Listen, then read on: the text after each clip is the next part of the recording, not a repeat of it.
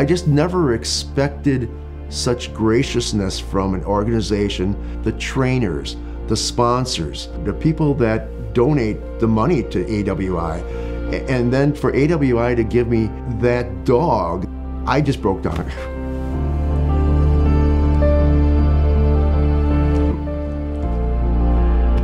It was overwhelming. To this day, I can't believe. I can't believe people do that. You know. I'm sorry. When you donate to programs like American Warrior Initiative or Custom Canines, you're doing much more than just donating some money. You're changing a life.